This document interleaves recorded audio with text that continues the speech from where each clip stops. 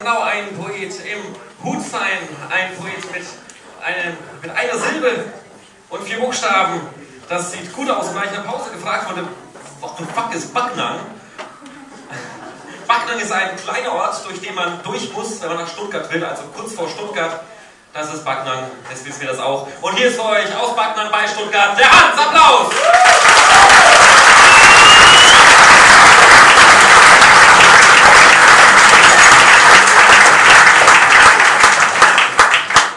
Dankeschön. Ja, ich stelle mir ab und zu mal vor, wie es mal so sein wird, wenn ich Kinder habe. Und ich bin mir ziemlich sicher, dass ich dann abends bei ihnen auf dem Bett sitzen werde und ihnen eine gute Nachtgeschichte erzähle. Wie zum Beispiel diese.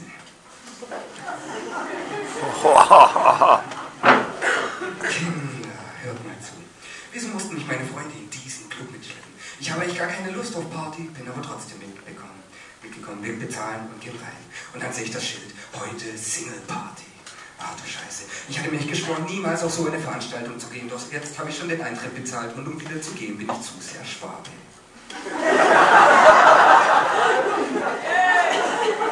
Ich bekomme beim Eingang einen herzförmigen Aufkleber, auf den ich Hans schreibe. Das schreckt ab.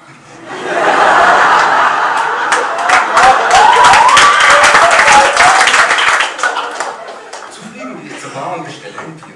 Da kommt mir eine Idee, wie ich den Abend doch noch lustig gestalten könnte. Ich nehme mir vor, von jedem hier Anwesenden einen kleinen Korb zu bekommen.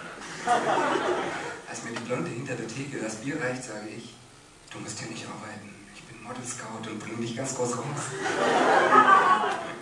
Sie schüttelt verständnislos den Kopf. Nummer eins geschafft. Zielstrebig steuere ich eine junge Frau an, die in einer Ecke telefoniert. Ich nehme ihr das Handy aus der Hand, lege auf und sage, unterhalte dich lieber mit mir.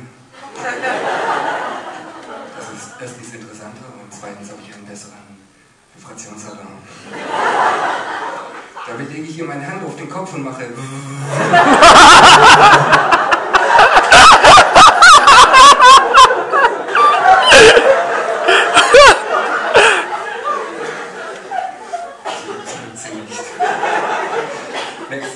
Eine vielleicht 15-jährige, sehr aufgetakelte Rothaarige, die für der Toilette wartet. Sie heißt Sweet Lisi Herzchen Smiley, steht jedenfalls auf dem Aufkleber. Ich stelle mich neben sie, tue so, als würde ich irgendetwas in ihrem Gesicht sehen, was da nicht hingehört. Dazu schaue ich ein bisschen angewidert und frage dann, na Kleine, war diese Woche wieder Schminke in der Wendy?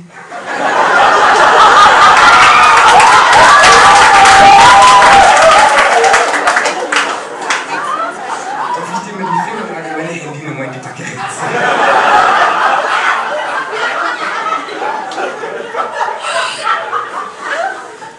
In diesem Moment kommt ihre Freundin von der Toilette. Sweet Lucy Herzchen Smiley geht durch die noch geöffnete Tür. Nötigt ihr das Pipi ja schon in den Augen. Die Freundin heißt Kitty. Ich sage, wie wahrscheinlich jeder andere Vollidiot an diesem Abend auch, Hello Kitty. Ich finde es aber immerhin nicht sonderlich originell. Lass mich raten, du magst Katzen? Sagt sie und bekommt leuchtende Augen. Ich sage,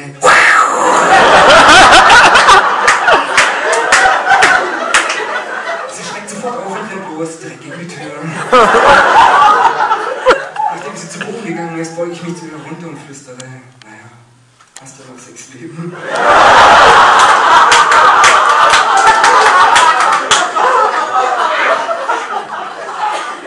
Danach gehe ich nach draußen und frage das einzige Mädel dort nach einer Kippe und schiebe hinterher, ob sie vielleicht noch eine zweite für meinen Freund hätte, der gleich rauskommt. Sie gibt mir zwei Zigaretten, ich stecke sie in meine noch halbvolle Schachtel und gehe wieder rein. Und dann sehe ich sie.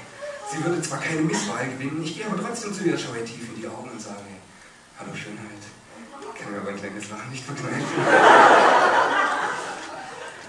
Bist du zufällig Kartografin? Ich habe mich nämlich gerade in deinen Augen verloren. Sie lächelt mich an und sagt, das sei das Süßeste, was ich jemals an meiner Zeit gesagt habe. Arme Sau.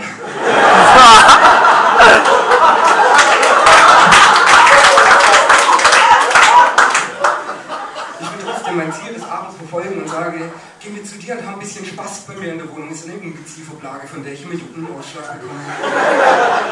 Okay, shit. Ich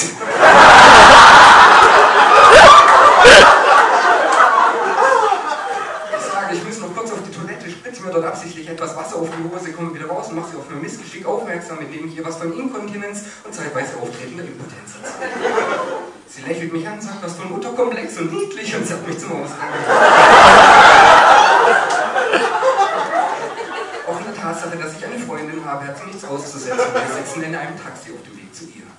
Mit der Kraft der Verzweiflung schaue ich sie an, zum ersten Mal im Licht, und breche ins Taxi. Auch das scheint sie nicht zu stören. Im Gegensatz zum Taxifahrer. Ich gebe ihm zwei Zigaretten, wir steigen aus.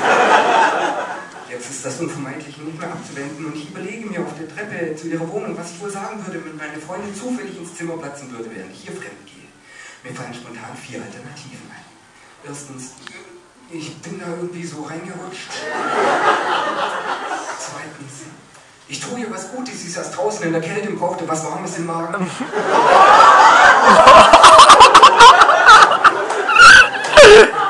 Drittens, ich habe extra eine hässliche genommen, damit du dich besser fühlst.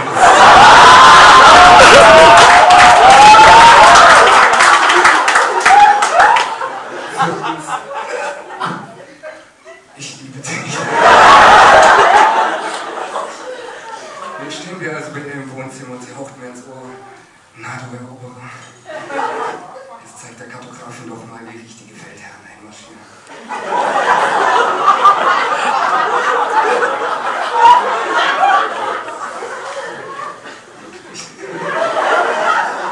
In diesem Moment wusste ich, wie Kolumbus sich gefühlt haben musste, als er herausfand, dass er irgendwo angekommen wollte. Ja, Kinder, man kann sich nicht immer aussuchen im Leben. Und genau das ist die Geschichte, wie ich eure Mutter kennengelernt habe.